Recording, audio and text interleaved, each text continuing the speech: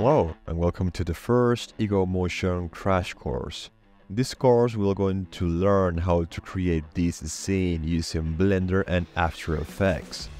We're going to start by adding these primitives just to start with a basic layout.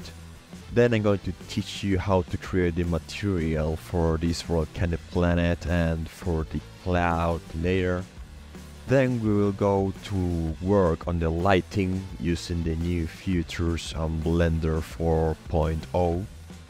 I'm gonna teach you some techniques to create a really cool camera animation.